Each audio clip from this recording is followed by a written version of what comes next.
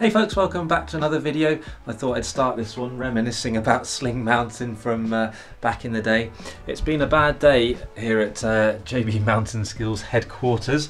I've been out working on Tryfan Bach today, uh, running the start of um, a two-day uh, like advanced scrambling course, so like mountaineering type skills. Sorry if you can hear the noise, the boy's having his dinner.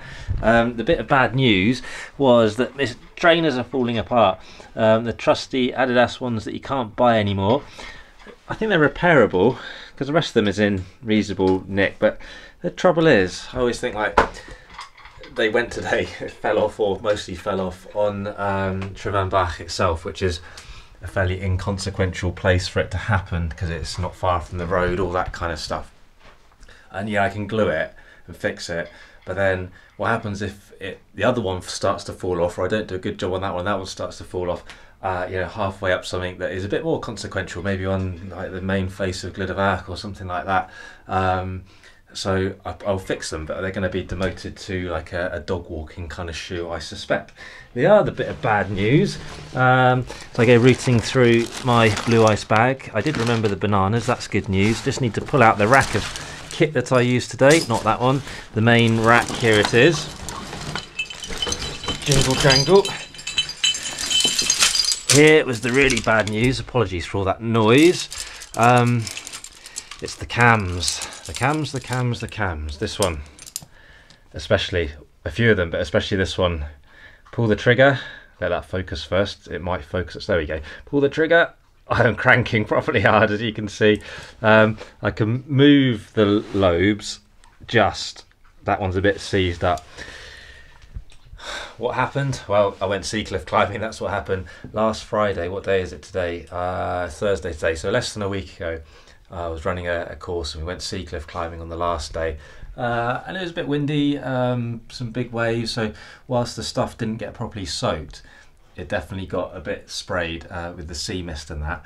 And I finished the course and said to the guys on the course, make sure you wash your kit to get all the sea spray and the salt uh, off it so they don't corrode. And what did I not do? Because I completely forgot.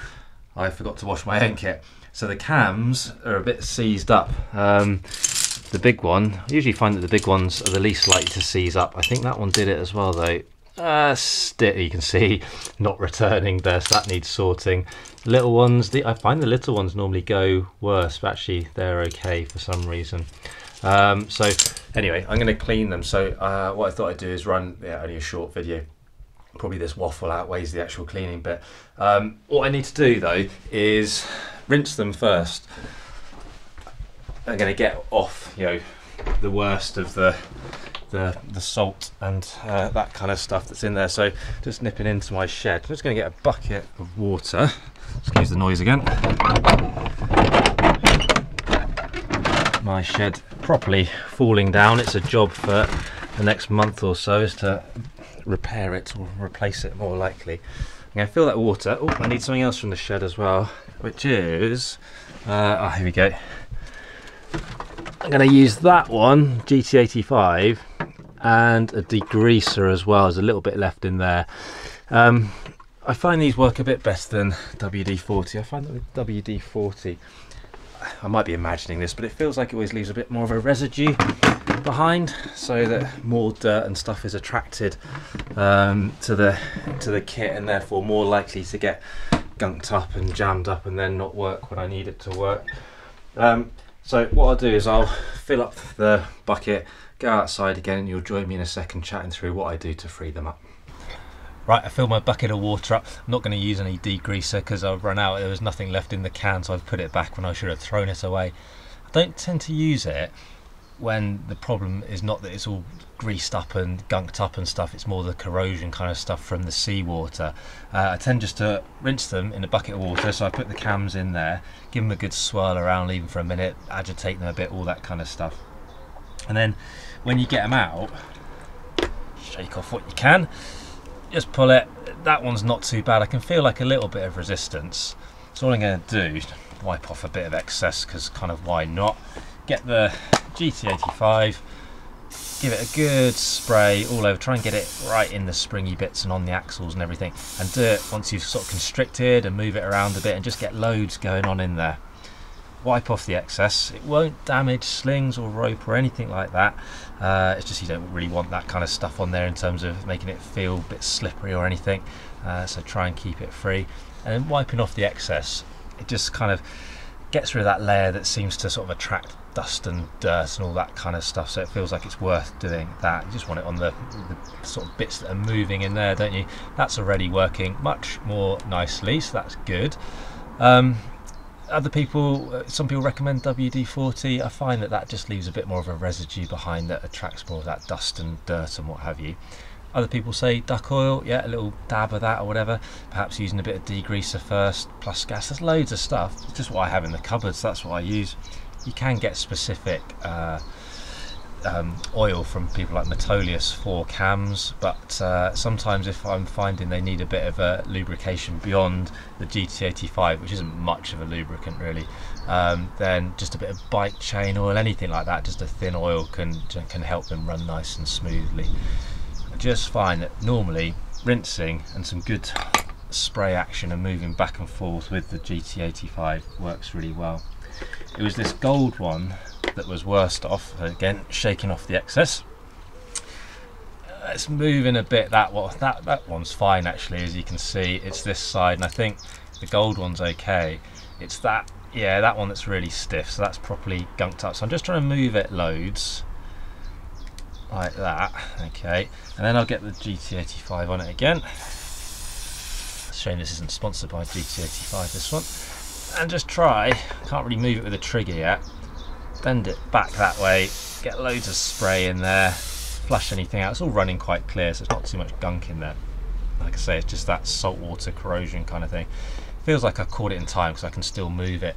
I've had some cams where when you pull the trigger or even try to do what I'm doing now, there's nothing, and I've uh, gone the extra step of. Uh, there's a few things you can do. Just leave it soaking in this kind of stuff and just move it back and forth quite a lot. I have had success in the past with uh, boiling cams. Yeah, there might be some uh, stuff to be careful of in terms of there is plastics what effect that has on the metal. I'm not an engineer, but it's worked for me, so fact check that one. And then, but like I say, just loads of spray, loads of moving back and forth.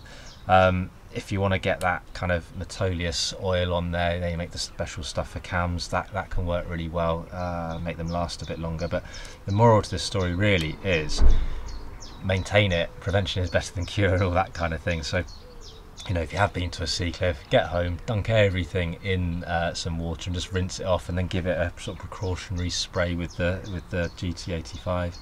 You can do it all with the carabiners as well. You know, give them a rinse, same thing. Just put a bit of uh, spray on the moving parts, and they're going to live a long and happy life. And then when you turn up to work, first thing, uh, and get your cams out and try and give a lesson on cams, you won't crank it, and it'll go, oh, it's not moving. It needs to do some maintenance. So that one is moving more freely, but not quite free enough yet. So I'll just soak it in some more, keep working it, keep moving it, and do the rest of them as well, and bring the rest of the rack out, dunk it, leave it to dry weather's been ace. I hope been able to be out and about enjoying it. There's little bats. It's a bit early for a bat to be flying around. It's only like half past five. Um, the weather's set to change, I think, but it has been lush and it's been great to be out climbing, hasn't it, in our bit of summer. Hope the video has been useful. Do fire away with any questions. As always, happy to answer as best I can. Like I say, there's other lubricants and sprays and people sing the praises of the ones they like. Like I say, that's just what I happen to have in the shed ready for the bike uh, and all that kind of stuff as well. So you can see I'm just moving this. It's already moving freer. So ah, there you go. So it's already moving a bit, but needs a bit more encouragement. But I can actually get it going with the trigger now. So it's working slowly but surely. Fire away those questions. I'm happy to answer as best I can.